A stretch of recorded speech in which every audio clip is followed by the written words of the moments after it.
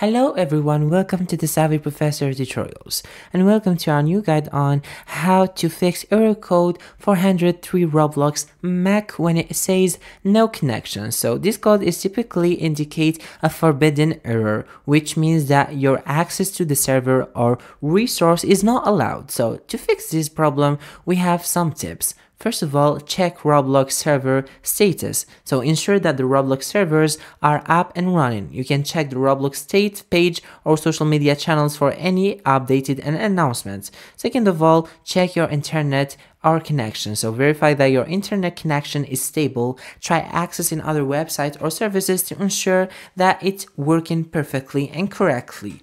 Uh, also, we have another tip that we can use, which is actually really common and very important to do. You'll have to check your DNS setting. So changing your DNS setting to a public DNS server like Google DNS or uh, Cloudflare can sometimes resolve connection issues. So if you want to change it on a Mac, go to the system preferences, network, then select your network connection. Click advanced and go to the DNS tab and add the new DNS server.